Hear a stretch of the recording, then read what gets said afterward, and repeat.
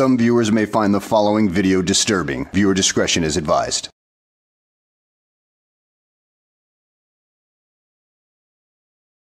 Okay, guys, I got a little channel update for you.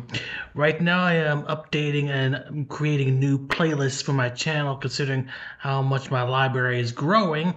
So that's just a little maintenance I needed to take care of.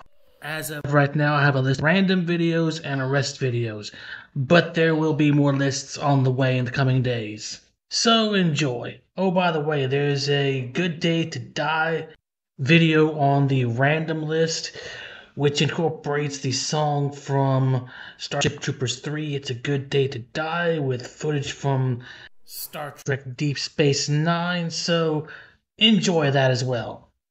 At this point, it's only got 35 views since I created it four months ago. So for my Star Trek fans, enjoy that too.